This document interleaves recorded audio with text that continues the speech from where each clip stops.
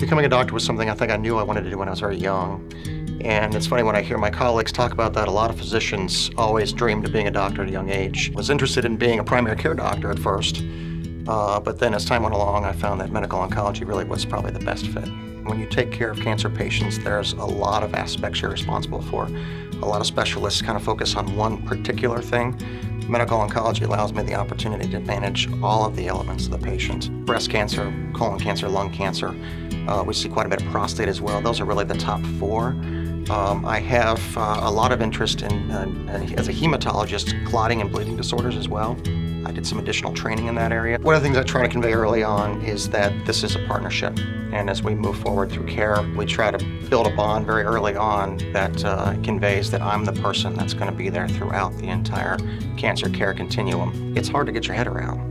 And if you can't convince patients that the treatment they're receiving is appropriate and it's uh, necessary, then they uh, are likely to go elsewhere for their care. A lot of our patients don't want to have to travel for their care, though. And on one campus, we have radiation oncology, medical oncology, we have infusion services, we have surgical specialties available, and we try to make patients feel as if everything they would need to receive they can get at our one facility. It's a team approach.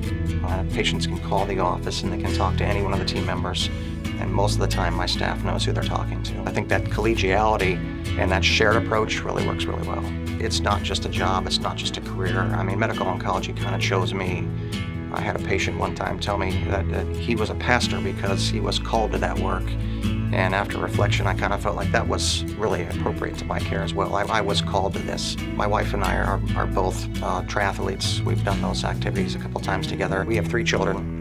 Uh, one of them is actually about to graduate high school next year, so we've got colleges to look forward to, and that's exciting. Hopefully, he'll stay in state. Hi, my name is John Salter. I'm a medical oncologist and hematologist with Community Physician Network, and I've been in practice since 2008 in Kokomo.